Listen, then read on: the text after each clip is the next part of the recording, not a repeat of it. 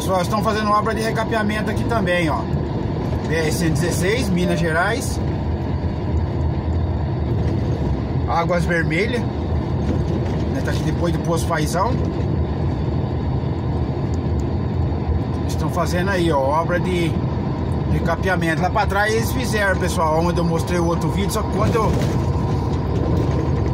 eu lembrei, eu já tinha, eu tava passando ela. E na próxima vez que nós voltar, né, filma para mostrar onde eles fizeram lá atrás lá. Aí estão fazendo aqui, ó.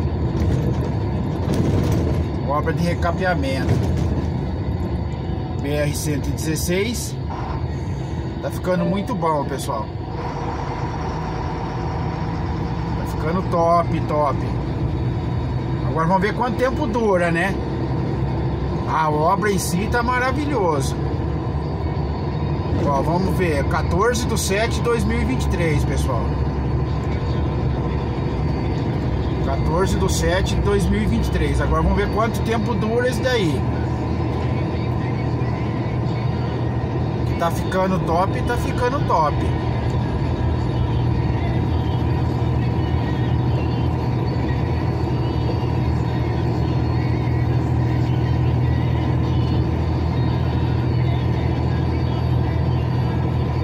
Lá para trás eles fizeram também obra, tem um, vai ter um vídeo aí do dia que eu subi.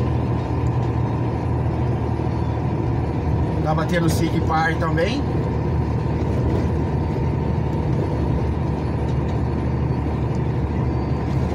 E aí eles fizeram o, o recapeamento lá. Até que eu subi pra cima, descarreguei, carreguei pra voltar e já finalizaram lá. Ficou bom, pessoal. Quando eu voltar na próxima viagem agora, eu filmo lá, faço o vídeo pra mostrar pra vocês. Ficou bom, ficou top. Espero que dure aí pelo menos um mínimo aí um ano, uns dois anos, três. Porque é horrível, pessoal, é horrível. A gente faz crítica, pessoal. Tem gente que às vezes não concorda quando a gente critica, mas só nós sabemos o que nós passa nessas estradas. Devido às buraqueiras, a falta de investimento. E é dinheiro nosso, pessoal. Dinheiro tem. De todos nós. Pagadores de imposto. É igual o, o outro vídeo aí. Da BR-116 ali em Tucano, depois de, de, de Feira de Santana aquela região lá, Teofilândia, Tucano, para vocês verem a situação que tá, ué. Como que a gente não vai criticar a pessoa que tá, que tá em casa, que o seu carrinho vai trabalhar de tarde e volta, essas coisas? Ver, ver as coisas de uma maneira diferente do que a gente que tá na estrada. É igual eu já falei em outro vídeo, 90% eu acho que da nossa vida pelo menos 85% da nossa vida nós passa dentro do caminhão na estrada. Você imagina o que nós não passa nessas estradas? Falta de investimento. Aí você juntar as outras coisas, né? Perseguição, fiscalização, tudo em cima de motorista, os imprudentes também, os irresponsáveis. Essa parte aqui, se fizeram é, é, serviço de tampa buraco, ficou mais alto que o asfalto, ficou uma ficou horrível, pessoal. Mas tá melhor que o buraco, tá. Mas mesmo assim, aí ó, aqui já fizeram, ficou top, ó. Ficou retinho tudo, ó. Mas tem uns lugares que eles fizeram o tampa buraco, ficou uma porcaria. Aí, Cachoeiro do Pajeú ali. Agora que Águas Vermelhas, Cachoeiro do Pajeú. Limite, limite de divisa de município. BR-116. 14 de 7 de 2023 agora 7 horas e 15 minutos.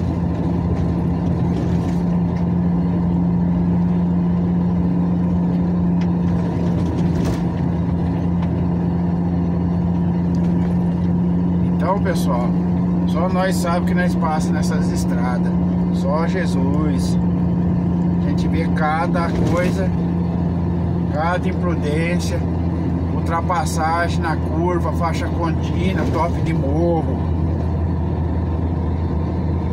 leva tantos anos para chegar a ser um motorista profissional e depois faz umas merda dessa. Não tem paciência de andar 5, 2 minutos, 1, 3, 10 atrás de um veículo mais pesado, mais lento, menos potência, tem tudo isso. Põe a vida, destrói a vida deles e a vida das pessoas.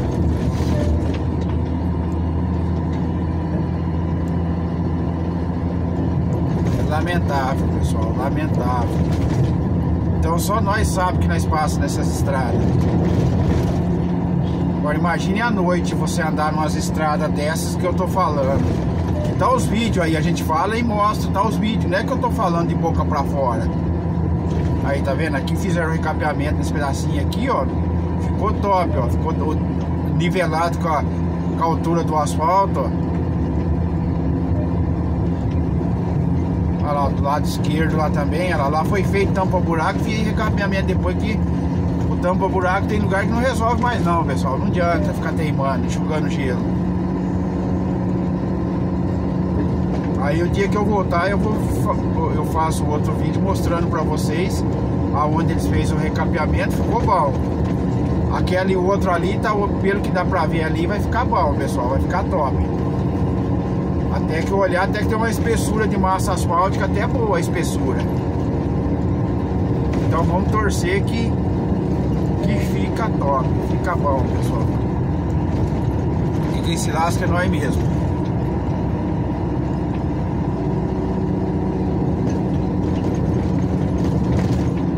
Caminhãozinho da Hyundai.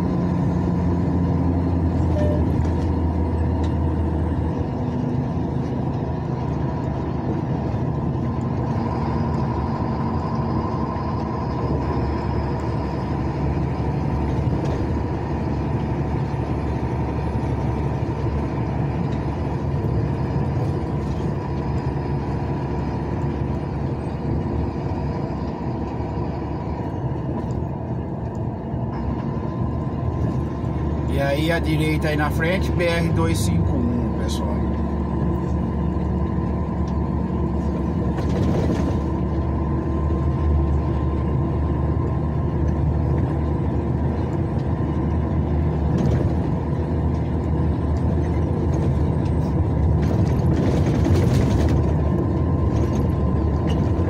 Mas nós vamos descer reto, Além Paraíba.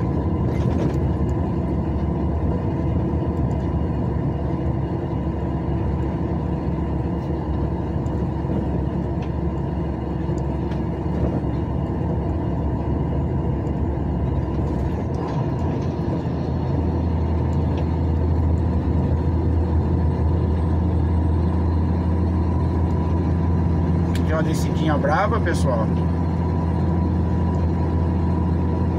Ela engana muito bobo, viu? Porque o dia que você vem lá pra cá, pessoal, você aproveita e você desce naquele embalo. Chegar ali embaixo tem uma curvinha brava.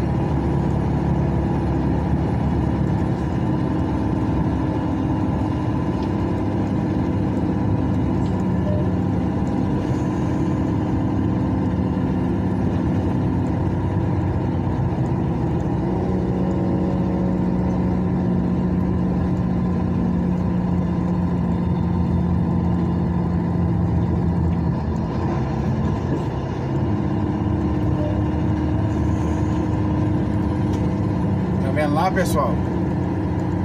Aí quando você se apruma lá, a curvinha engana bem, viu? E tem gente que ultrapassa aqui, hein, pessoal. Eu já vi isso várias vezes, hein?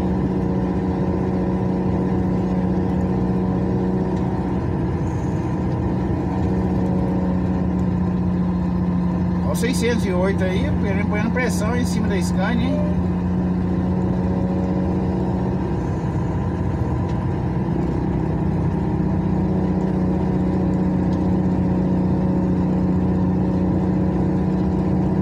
Já vi gente ultrapassar nessa curva, pessoal. É o que nós fala. Então além da além da, da qualidade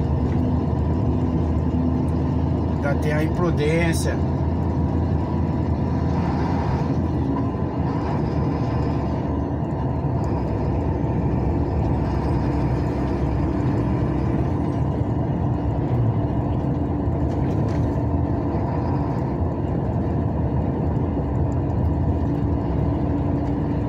Mas é isso aí, galera.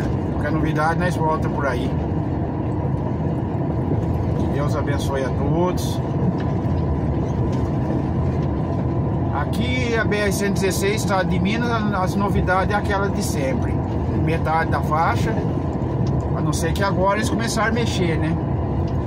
Mas é igual o morador comentou de.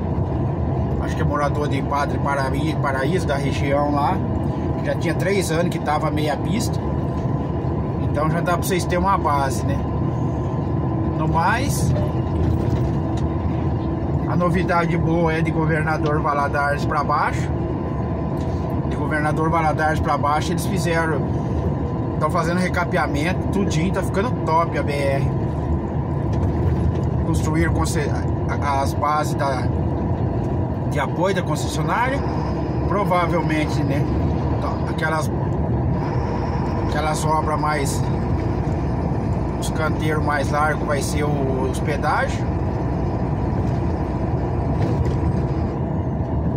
e de governador Valadares para cima a novidade é a mesma. Remendo, tampa buraco às vezes alguns buracos que você encontra meia faixa de rolamento. E é isso daí galera. Tá vendo? tem as marchas escuras aí que eles fizeram serviço tampa buraco ó Aí, ó, tá vendo aí, ó? Foi feito, ó.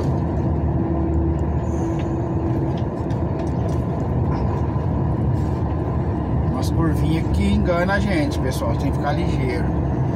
Perigo numa curva dessa, pessoal, é o trânsito tá parado. Aí você, você pesado, você não consegue parar, não. Você chega numa curva dessa, de repente o trânsito parou na frente, ou quebrou um veículo na faixa de rolamento, pessoal você não tem visão nenhuma. Você não tem visão. E aí, ou você bate na traseira e enfia pro meio do mato, mas você não consegue parar. Você vai até parar, mas você vai levar aí 80, 100 metros para parar. Por isso que nessas curvas eu vou já meio na cautela. Se você tá leve é uma coisa, mais pesado, com, com 25 mil quilos de carga, pessoal, você tem que tomar muito cuidado nessas curvas. Porque você não tem visão. Você só vai ter visão que você fizer a curva. E aí você faz a curva, o trânsito tá parado. Quebrou um veículo. Porque às vezes de repente tá indo aí, tá, de repente chega na curva ali, o trânsito para. Tem que tomar muito cuidado, pessoal, com essas curvas.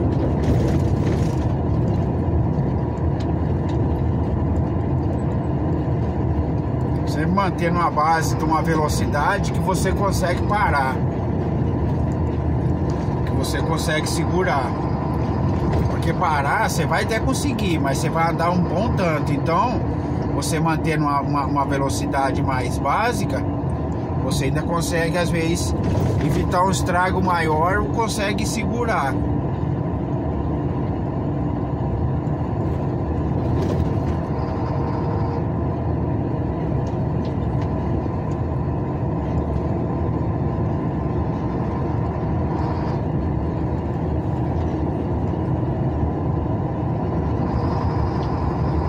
Costela, pessoal.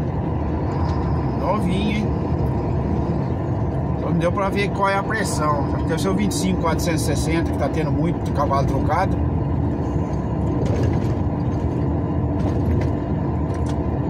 Mas é isso aí, galera. Que Deus abençoe a todos. Ótima semana. Se Deus quiser, segunda-feira nós descarrega. Então, vou compartilhar o vídeo no meio de semana, de segunda, entre segunda, terça. Vamos ver como é que tá a programação de carga para subir para cá, para carregar. Então vai ser no meio de semana.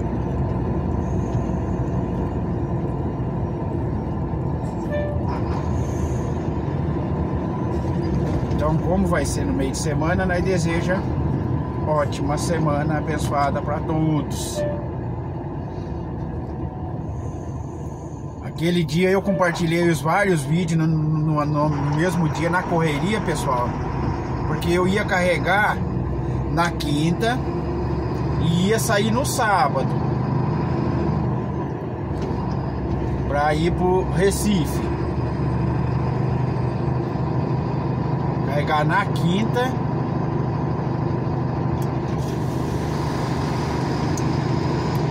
Pra ir no sábado pro Recife. Aí na terça eu fui pra casa da minha mãe. Então eu falei, aí eu fiquei. Na, quer dizer, eu fui na quarta de manhã. Eu, fico, eu falei, eu fico quarto inteiro com ela. Poso na casa dela, almoço. Aí de tarde eu venho embora na quarta-feira. Quer dizer, na quinta-feira. Eu fui na quarta. Aí eu falei, poso na quinta. Na quinta-feira eu almoço lá e de tarde vem embora na quinta. Falei, quando for sexta-feira, eu faço tudo as coisas que eu tenho que resolver, deixo tudo no jeito, arrumado, certinho, as coisas no caminhão, no, no, deixo tudo organizado. Quando for no sábado de manhã, eu vou viajar. De repente, o patrão me manda mensagem. Ó, Márcio, pediu para adiantar a carga lá. Pediram pra você sair na sexta. Falei, ah, maravilha, ué, vambora. Não tem problema não. Aí eu fiz o quê? Aí quando foi na quinta de manhã, eu falei, pô, se é pra me sair sexta, eu tenho que resolver minhas coisas na quinta. Quando foi quinta-feira de manhã, 6 horas da manhã, eu saí da casa da minha mãe. 8 horas da manhã eu tava em casa, em Tupéva. 20 para as 8, mais ou menos. Passei no mercado, mercado passei na casa de ração, da casa de ração fui na farmácia manipulação ver um remédio para minha mãe lá para fazer. O ouvido. Resumindo, pessoal, ajeitei minhas traias, ajeitei as coisas que deixei resolvido. Aí lá veio o barraco, dei banho na, nas cachorrinhas, na Mel e na Melissa. Deixei tudo arrumado, fiz almoço, almocei, uma e pouco, duas horas. Mais tarde, aí quando é umas três e pouco, o patrão, três e meia mais ou menos, ele mandou mensagem para mim, ó Márcio. O pessoal pediu para você sair hoje. Dá para sair hoje? Então precisa, vai precisar adiantar a carga lá. Falei, caramba. Falei, ah, fazer o que? Vamos embora. De outro jeito, mas ainda bem que eu já tinha conseguido resolver as coisas. Aí peguei e fui embora, subi pro pátio. Aí, ó, é lógico, acabei de ajeitar as coisas que eu tinha mistura na geladeira, tava na geladeira, tinha arroz que eu tinha feito, já feito, deixado para jantar, que à noite eu só esquentava e fazia a mistura. Que eu, pra mim eu ia sair na sexta. Aí eu peguei e saí na. Fui dar tomei banho, dei uma volta com as cachorrinhas, com a Mel e a Melissa. Aí ajeitei as traias, a raçãozinha delas, água, tudo, deixei tudo no jeito. Subi pro pátio umas 4 e meia, 20 para 5. Saí do pátio umas 5 e meia, põe as coisas no caminhão e tal, e blá blá blá. Resumindo, saí de lá umas 5 e meia já, quase 6 horas. Aí andei até Varginha, enfim, foi corrido. Aí eu aproveitei o Wi-Fi, quando eu vi a mensagem dele, falei, agora tem que compartilhar esses vídeos. Tem que compartilhar esses vídeos que eu fiz. É tudo agora. Foi por isso que eu compartilhei todos os vídeos, aí fiz aquele vídeo curtinho falando do porquê que eu tava compartilhando aqueles vídeos curtinhos, pessoal. Mas teve bom, graças a Deus, e deu tudo certo. Descarregamos, carregamos, estamos voltando embora. Se é segunda-feira, eu descarrego, segunda-feira tá em casa. Mas é isso aí, galera. Um abraço aí, que Deus abençoe a todos aí. Qualquer novidade, nós volta por aí.